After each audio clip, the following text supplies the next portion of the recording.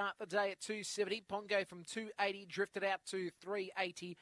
And Evident from 440 out to 460, back into 440. Green light.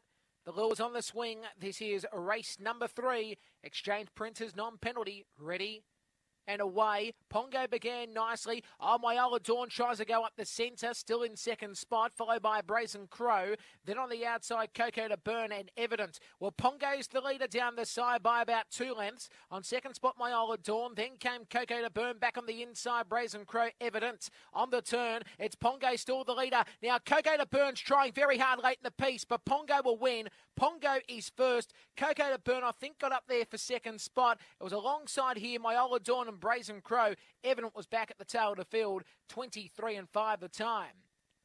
One wins, eight should get second. It looks like it comes across the outside to get second, and it'll be a photo between the five and the seven for third. But I think the five may have just gone up. It was too good here, Pongo. Absolutely started well from the boxes, was not going to be stopped. And as I said, very impressive here, Pongo from the inside rail. Coco to Burn is second, so one and eight are the numbers on the semaphore. 23.51 the time, and five officially third. So Myola Dawn gets third from Brazen Crow in fourth spot. So one, eight, five, and seven the numbers. And the one red Pongo, trained by Kevin Gavin. It is a black dog, Brett Lee out of Julie Flash. Second spot, eight pink in Coco to Burn.